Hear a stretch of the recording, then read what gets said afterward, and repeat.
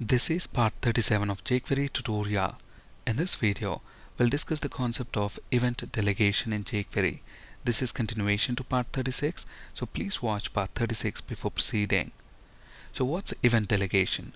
Event delegation allows us to attach a single event listener to a parent element that will fire for all descendants matching a selector, whether those descendants exist now or added in the future. Both on and delegate functions allow us to perform event delegation. In fact, in our previous video session, we discussed how to perform event delegation using on function. Let's quickly recap that example. Let's flip to Visual Studio. So this is the same example that we worked with in the previous video session.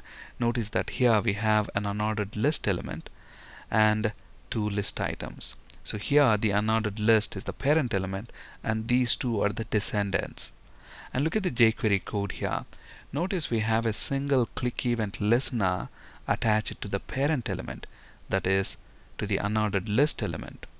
And look at the selector, li. So this selector matches all these list items, all the descendants of unordered list.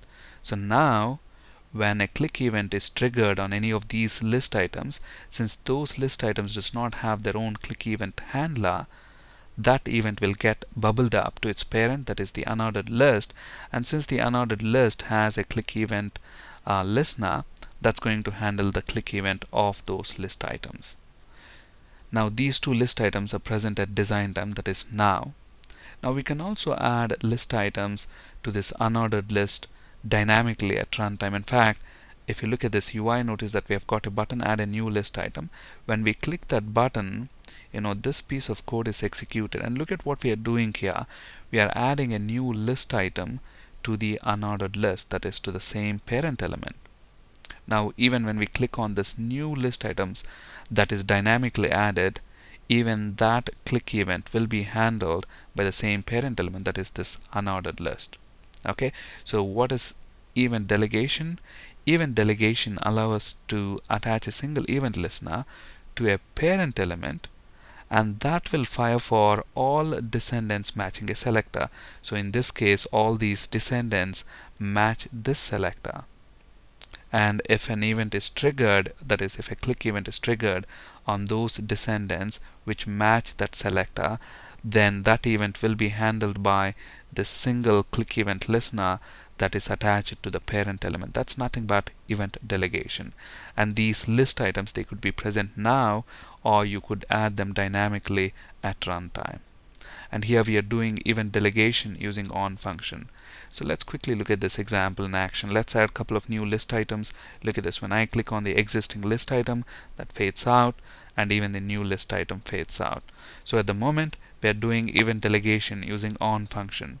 We could also do event delegation using delegate function. So instead of on, we can use delegate. Let's look at that.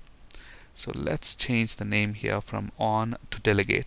But if you look at this delegate function, notice that with delegate, first we have to specify the selector and then the type of event. With on, we first specify the type of event and then the selector.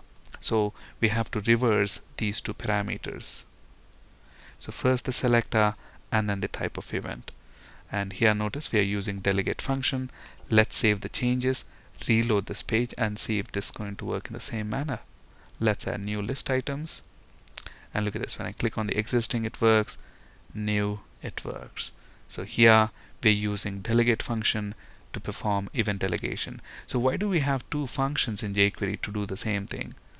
Now delegate function is introduced long back whereas on function is introduced in jQuery version 1.7. So jQuery recommends, if you're using 1.7 or higher version, jQuery actually recommends to use on function to perform event delegation.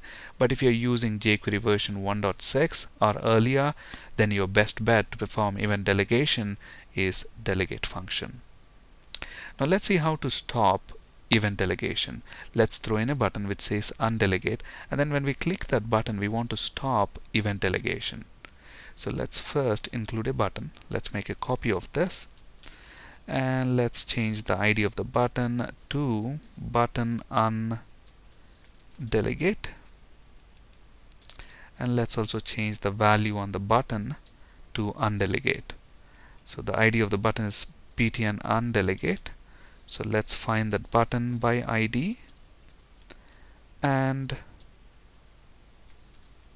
when we click that button we want to stop event delegation.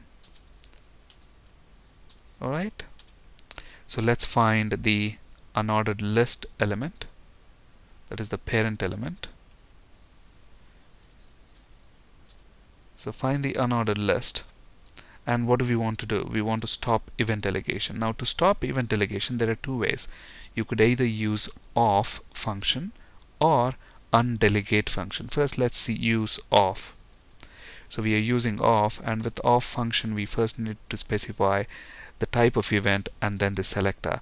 So the type of event that we want to stop event delegation is click and the next thing is the selector and the selector is li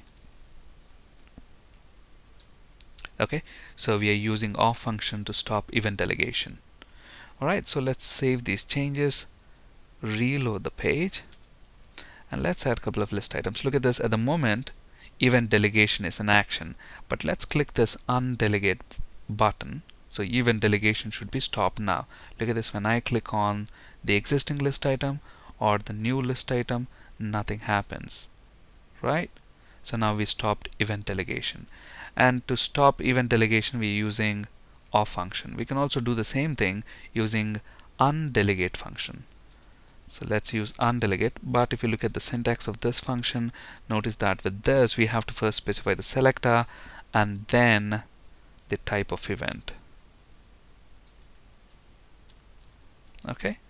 So let's save the changes reload this and look at this in action quickly. Add couple of list items. At the moment event delegation is working. Undelegate look at this when I click on these list items you know it doesn't fade out so again, to perform or to stop event delegation, you have two choices. You could either, use off or undelegate. So which one we should be using? If you're using jQuery version 1.7 or higher, then use off. If you're using jQuery version 1.6 or earlier, then your best bet is to use undelegate. Thank you for listening and have a great day.